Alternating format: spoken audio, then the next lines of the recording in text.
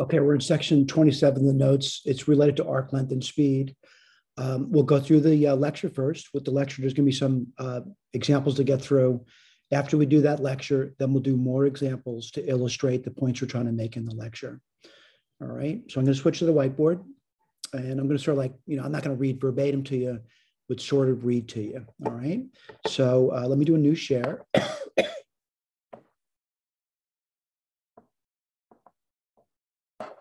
Me just share the screen with you, my whiteboard. Okay. So where are we? We are at the um, section 27 of the notes, and we're going to do arc length and speed.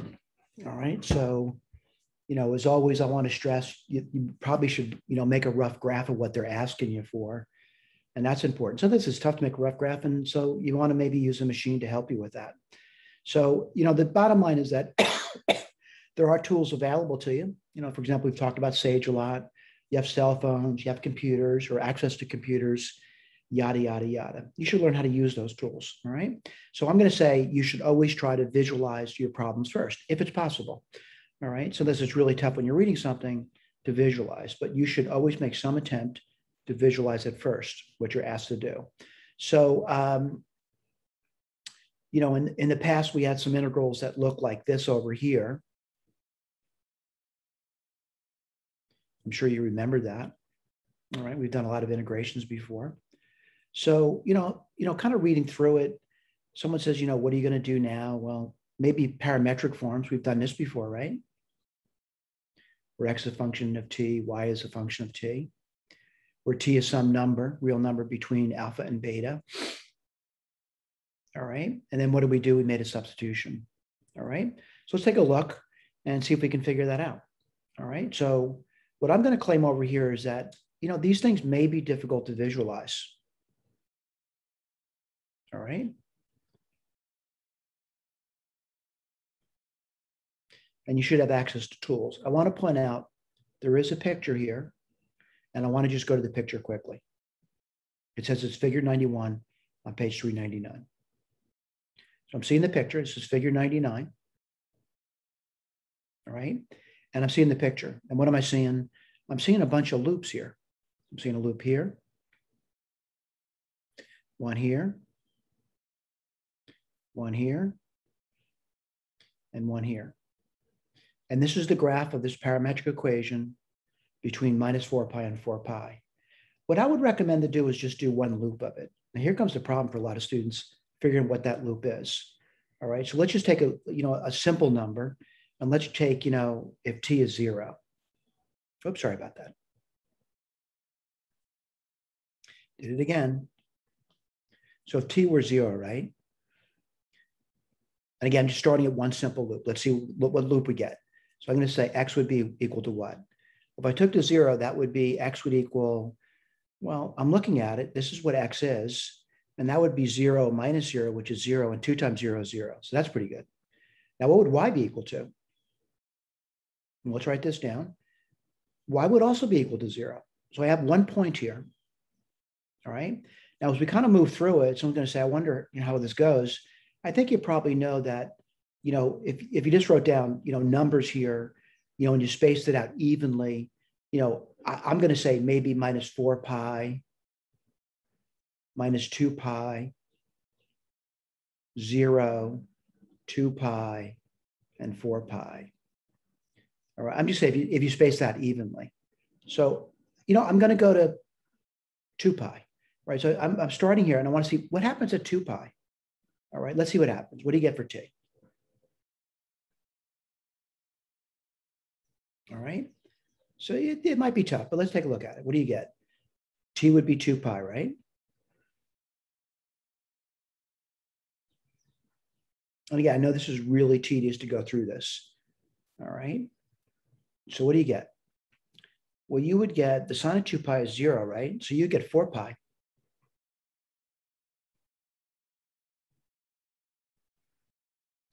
What would y equal? Let, let's put that down. y would be, let's see, that would be, well, if you plug it in, what would you get for y? Cosine of 2 pi is 1. 1 minus 1 is none. So you get 0. Right now, what's 4 pi? It's around 12 point something. So I'm going to say we get this loop here between zero and two pi, all right?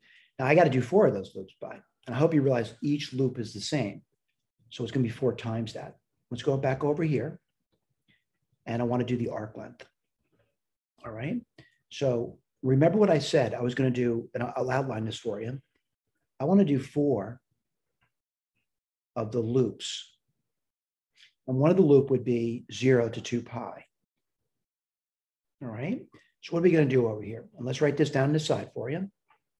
I'm going to write this, you know, and certainly when I say write it down, I'm going to write it down carefully. X is equal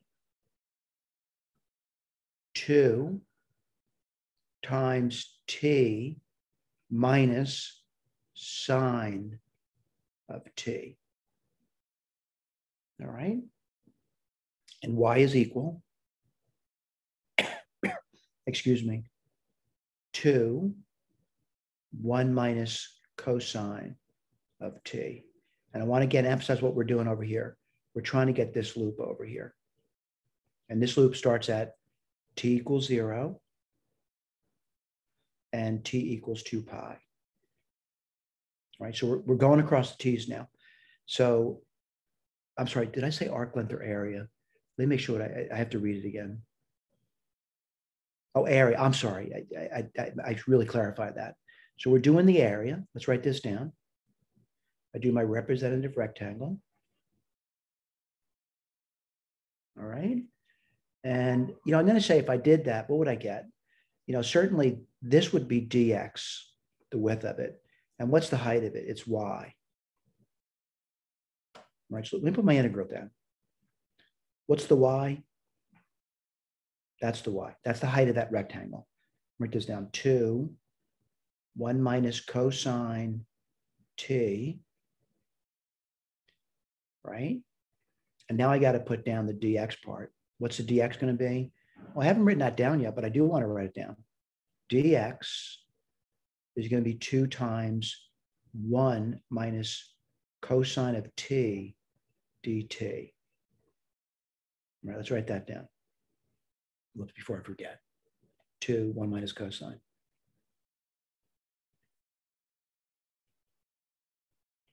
And what are the t's going to be between? Well, 0 and 2 pi. But I want to emphasize here, we just did the area of this guy over here. That's all we've done. Let me shade that in for you. We're just doing this area here. Again, I'm hoping after you visualize it, you realize there's four of those. And let me write that down now. Right. So someone to say, that, is that enough to write that down? I think it's pretty good start, but I want to see if I can do the integration. And maybe I can't remember, but let's say two times two is four. That's 16.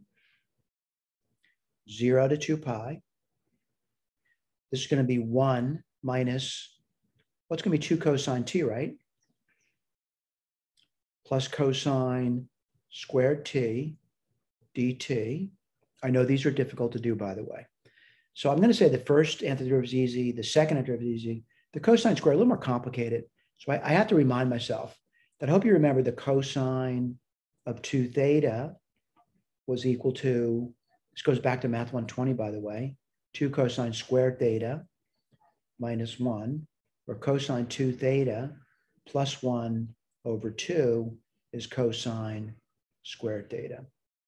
All right, so let me go back over here. I'm going to write that down for you. Remember, if you have a tough time with this and you're on the exam and you're pressed for time, you may want to move forward,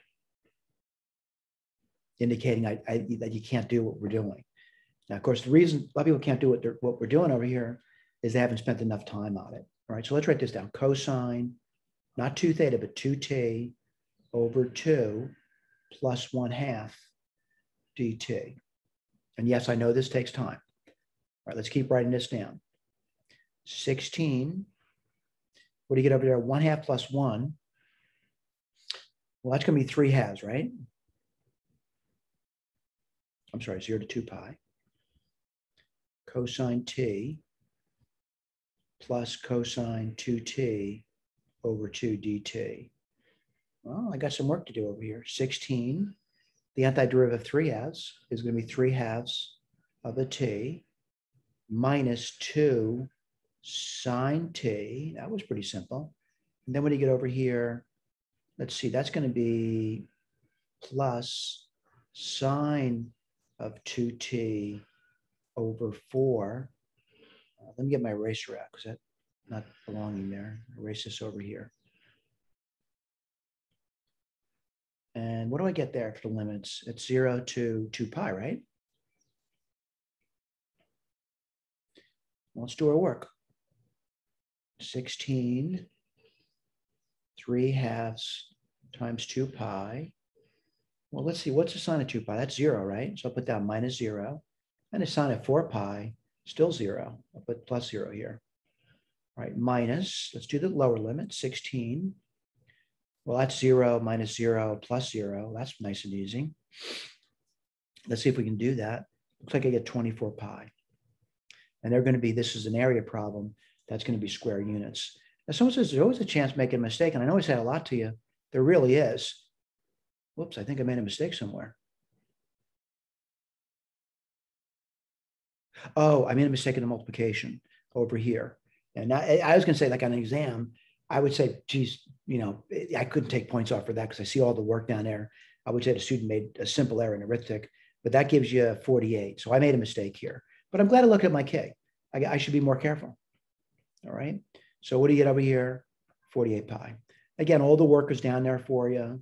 Again, what, what are we trying to get across to you? You know, a visualization of the problem. That's all we're trying to get across to you.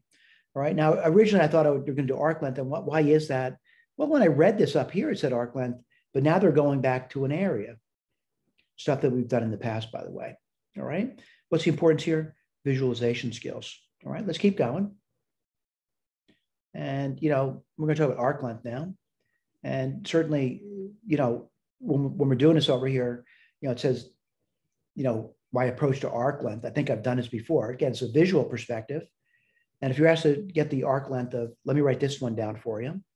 You know, if you're asked to get the arc length, y equals sine of t and x equals cosine of t, if you're wondering where I'm seeing this, I'm seeing this right over here. And then they say between zero and pi. All right, I'm just gonna you know, go through what you may have done in prior courses, particularly Math 120 to do this problem over here. You'd want to visualize it. Some of the, there's already a visual there. Why do I need to visualize it? You should be able to do that. I would try to eliminate the parameter. And what would I get over here? You know, y squared. I'm squaring both sides, by the way and x squared would equal cosine squared t. And you'd get x squared plus y squared equals sine squared t plus cosine squared t. And I know x squared plus y squared is equal to one now, basic Pythagorean identity. And if you look at the parametric form of this thing, it's actually just a unit circle. Now, I got a problem though. I don't know if this is a unit circle because they gave me the t values between zero and pi. So I'm write this over here. The t is going between zero and pi. All right. So let me write this over here. Now, what do I know about the sine between zero and pi? Well, the sine function between zero and pi has got to be between zero and one. All right. And what's the x value going to be between zero and pi? Well, it goes between minus. When I, I when I say that, I'm talking about this guy over here. The x value would be between minus one and one. So I think I got the picture of it. What's the picture look like? And actually the picture they're talking about, and I'll put it in red over here, is just a semicircle. All right, that's the picture of it. So I would be honest with you, if I were asked that question, I don't know if I'd want to go to integration to do it.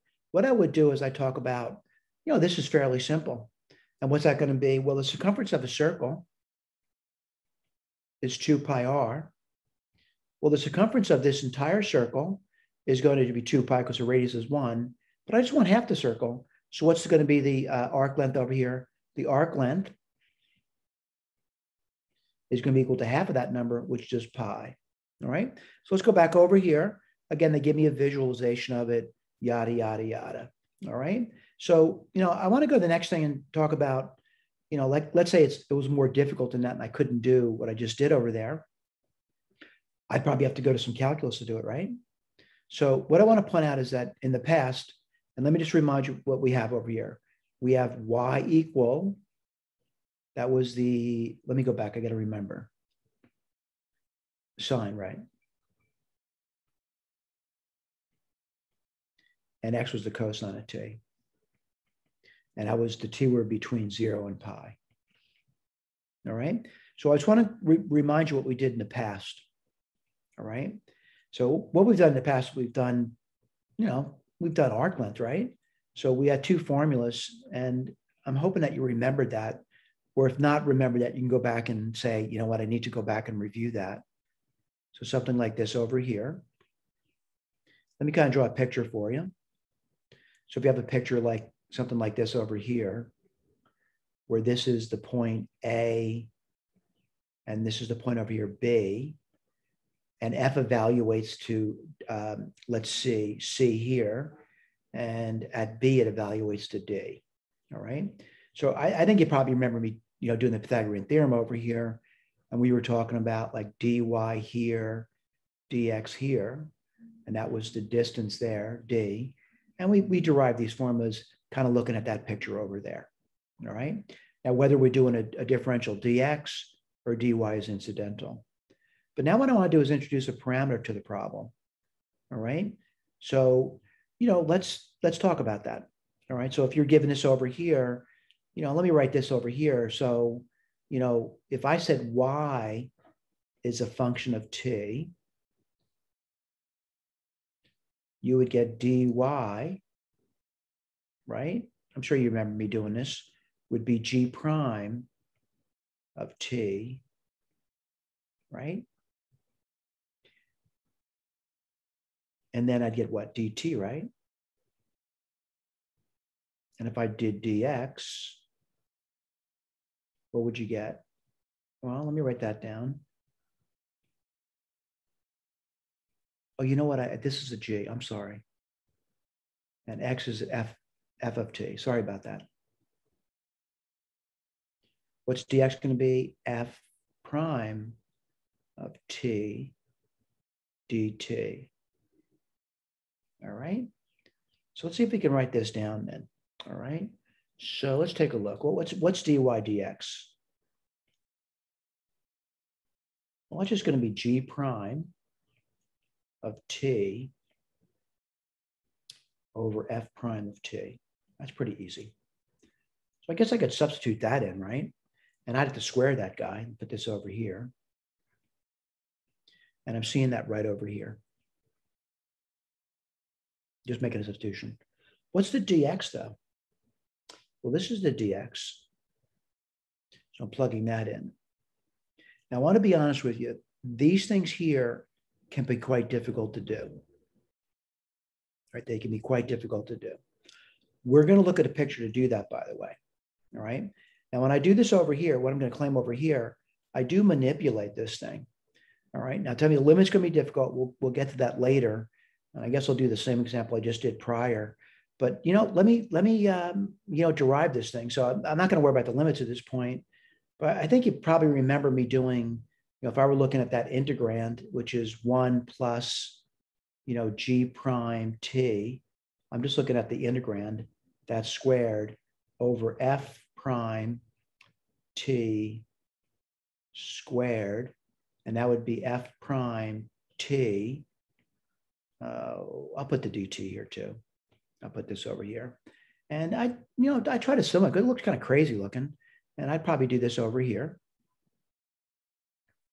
And I'd probably write this down. This would be f prime t squared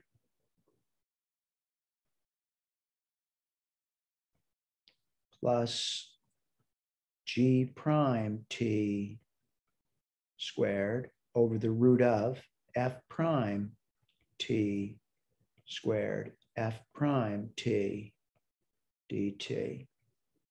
All right. So what'd you get over here? Well, you get something pretty simple. And again, our arc length is going to be positive. So I'm not worried about the absolute value of this thing. So let's put this over here.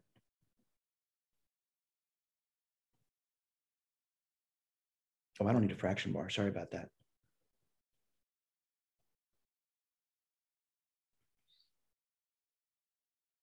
I did it again, sorry.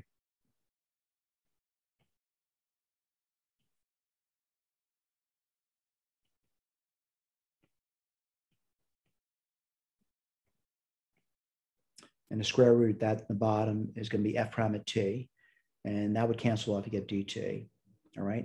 Again, these limits can be tricky to get. We'll go through that though by looking at a visual. So let's go over this over here. And we got this. All right. So let's go back to our other problem. I'm going to remind myself what that was. And that's this over here between zero and pi. All right. So let's write this down. I think we we did this before, right? So what do we put down? I got to get I got to get the um, you know the, the y prime down. And what's that going to be? Cosine of t. And let's get the x prime down. And that's going to be minus sine of t. All right. They've given me the limits on the t. So I'm going to write down over the root. Well, you know, x prime squared is going to be sine squared t plus the y prime squared is going to be cosine squared t. This will be dt. And the t's are given to me. That's going from 0 to pi. What does this give me? Well, lo and behold, it's pretty simple. You're going to get 0 to pi. That would be 1 dt now. What's that going to be? T evaluated from 0 to pi. And what do you get? Pi. I hope you can remember when we just did the problem with, you know, grade school uh, methods, we got the same thing. All right. So that's done over there for you. Okay, speed along the path. All right. And again, I want to kind of read it to you and we'll talk about it. All right. So it says for an object moving along a path, and they define that path as a parametric path where C is the path, and it's parametrically defined as being X and Y as being function of T. Let me outline that for you right over here. We know the length of arc, we just derived that between T naught and T is going to be this over here. All right, let's go to the next page. And again, we got that form. Where did we get that formula from? That form is right over here. Okay, let's keep going.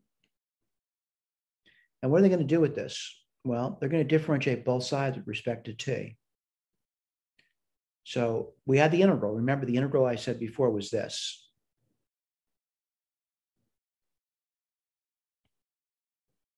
All right. What are they doing now? They're differentiating both sides with respect to t. So what would they get on the left side? They would just get the derivative of s with respect to t. Now you need to remember the fundamental theorem of calculus, right? And what we're going to do, we're differentiating now. What are we going to get over here? Well, it's just going to be this thing evaluated. What I mean by this thing, this thing here, evaluated at t. So all I do was plug it in. Derivative, we got it. All right, let's take a look. And as I put these things down over here, I'm going to tell you, you know, what x is and what y is in the problem. Let's write this down carefully. So x is 2t.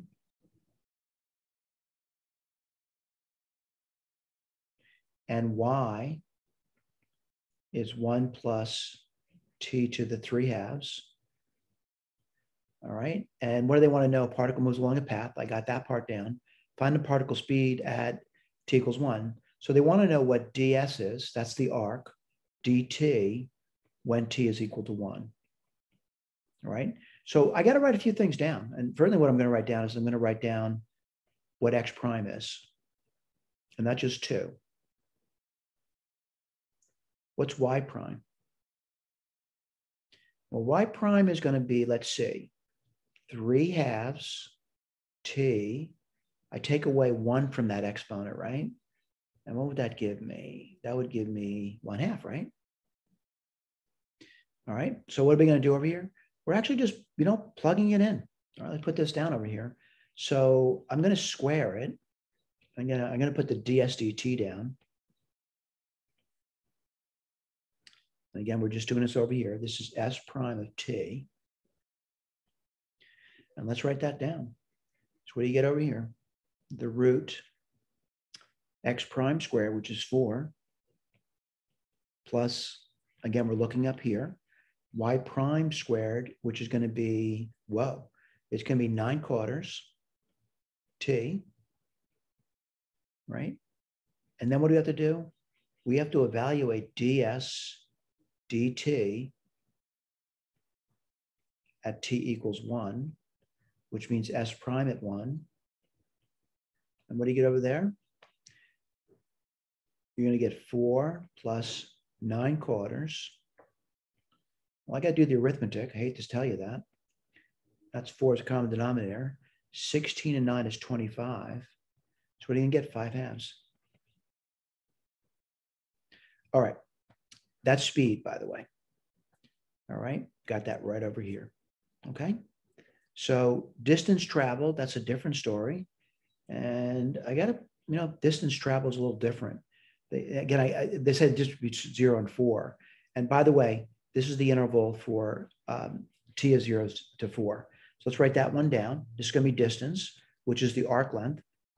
All right, so let's write that down. It's going to be the integral from zero to four square root. This will be dt.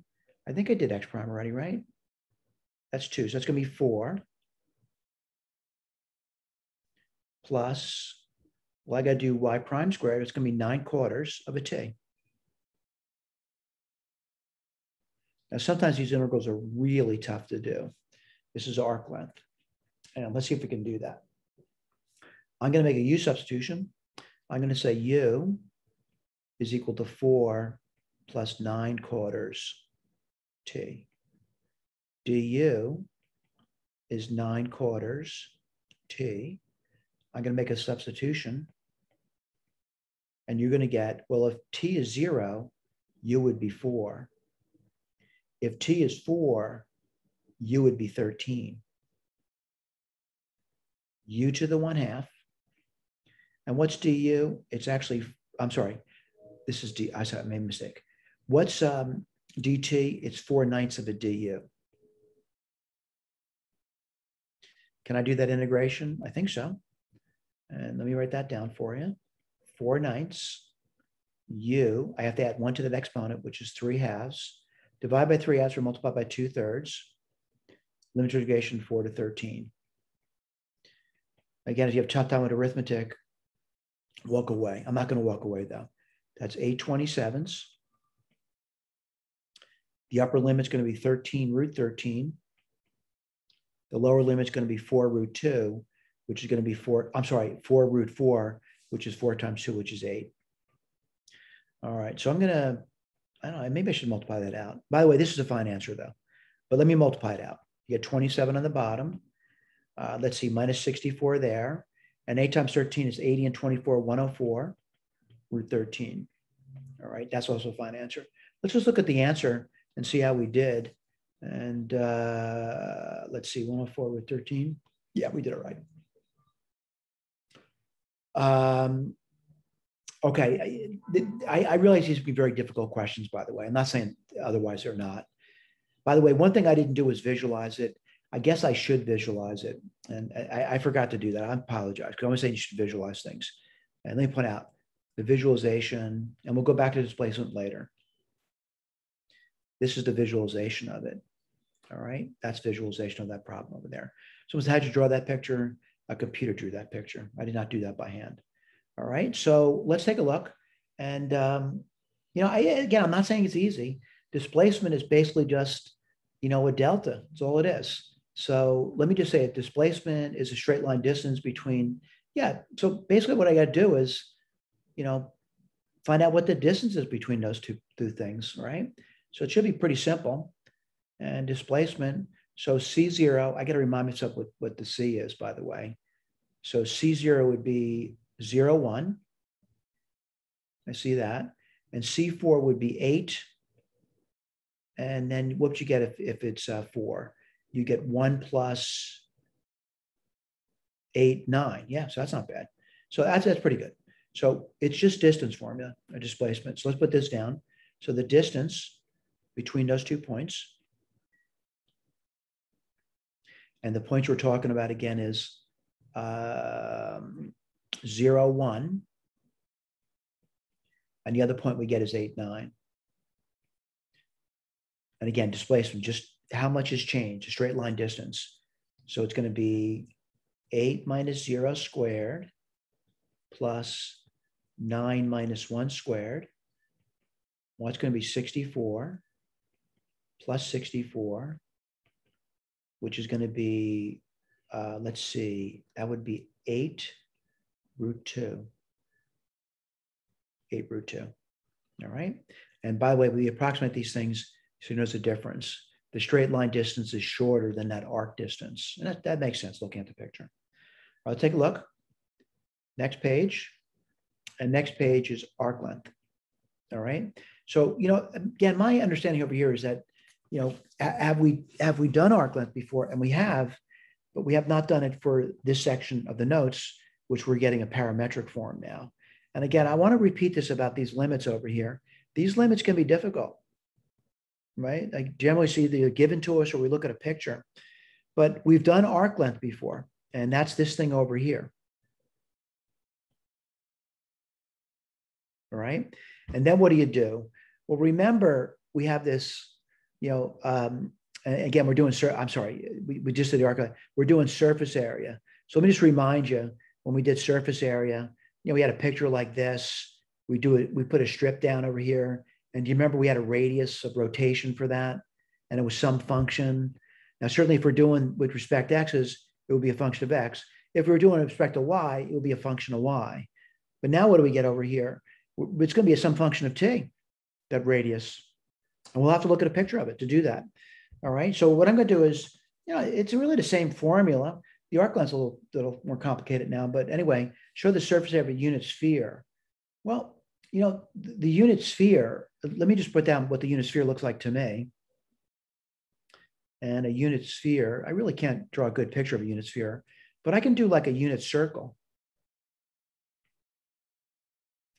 I keep doing that, don't I? So what's the equation of a unit circle? It's x squared plus y squared is equal to one. Well, you know what I want to do? I just want to do like a part of it. And I want to do this part over here.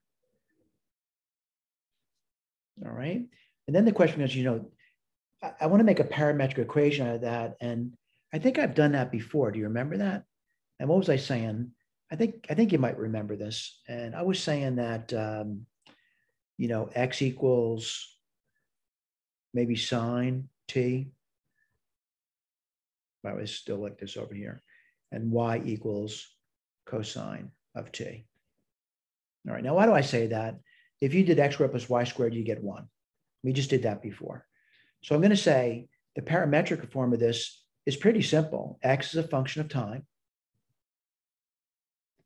And I'm going to say sine of t and y is a function of time. And I'm going to say that's cosine of t. Now, what are we doing over here? And again, I, I, I got to emphasize over here, I'm going to be rotating this thing. And someone can say, how are you going to rotate that? Well, there are a variety of ways of doing it. And what I'm going to do is I'm just going to, I'm going to, I'm going to start here and I'm going to start to rotate it. My question is, what is this point over here, t wise? So I'm going to pick a t down here. And let's take a look at that. So I'm going to choose t to be, and I want to start somewhere where the x would be 1. I can say pi over 2.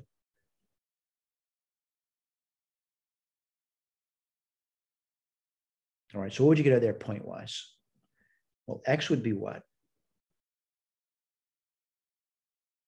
If I did that, x would be what number?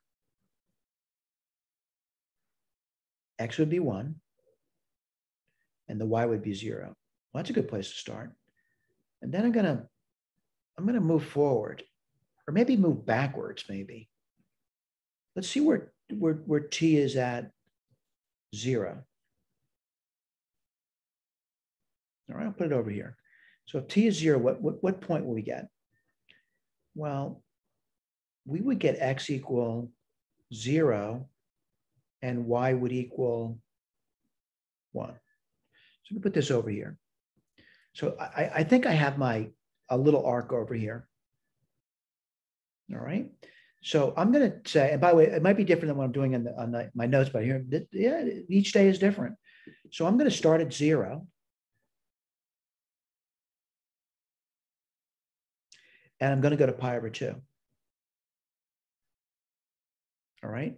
But I want to emphasize to you what we're doing. We're going to rotate this thing like this. Now, this would just give me half of the sphere. And I want to get the whole sphere. So I'm going to say two of these guys. So let's write this down. And I, I need to get this radius thing here. And what's the radius here? It's going to be 2 pi. This is going to be circumference now. 2 pi. What's the radius going to be? Well, it's going to be the y value, right? So it's cosine of t. Now I'm going to do the arc length. And that's going to be, let's see, x prime squared. Well, I haven't written x prime down yet, have I? Let's put that down. So x prime is going to be cosine t, and y prime is going to be sine, or minus sine t. Sorry about that. I got to square those guys. So what do you get over there? Cosine squared t plus sine squared t. Just doing the arc length, dt. All right, let's keep going. We have a key to look at. So what do you get over here? 4 pi, 0, pi over 2, cosine t. This is 1 dt. This is going to be 4 pi sine t 0 to pi over 2. Let's keep going. What do you get over there? 4 pi. And then you get the sine of pi over 2, which is 1, minus 0, which is 4 pi. All right, mistakes happen. Let's look at our k. And what we get over here? This. Now, someone says they did a little differently over here. Yeah, sometimes they do a different interval. But the bottom line is it's really not that bad to do. You might get confused with it, but you can always look back over these formulas if you have to. All right. So um, it says you should also try to do this using this over here. And it, I'm going to say, you know, it's worth a try. It, it's just as easy. And let me, I, I, maybe I should put that down for you. So the, the understanding over here is that I could do this with the technique I've done in the past, which is not a bad idea. The equation of this thing is y equals the root of 1 minus x squared. And you remember I did my little strips over here. And let's write this down then.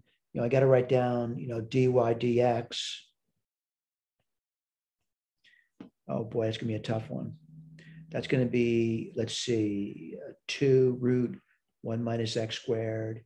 Then you get minus 2x on top and then I got to do 1 plus dy dx squared. This is old material, so I'm going through it pretty quickly. This is going to be 1 plus 4x squared over 4, 1 minus x squared. Well, the 4's cancel off. That makes it a little bit easier for me. And then you get 1 minus x squared. And what do you get on top? You get 1 minus x squared plus x squared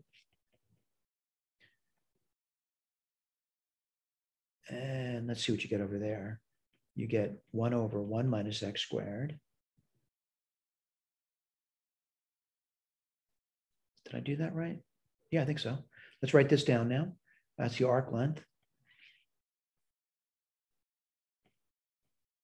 And we're going from minus 1 to 1. And now I'm going to put my 2 pi r down. And what's the r? Well, just the y value, so that's a root of. And let's see if we can do that. Oh, I've, I forgot to do square root of that. I'm sorry. That's this is a square root. Sorry about that. Otherwise, it's been really tough for me to do. Let's take a look at this. What do you get over here? Minus one to one, two pi dx. Let's do our antiderivative. Two pi x minus one to one. This is two pi. One minus minus one, which is plus one, and you get four pi. We get the same result. All right. So that's important.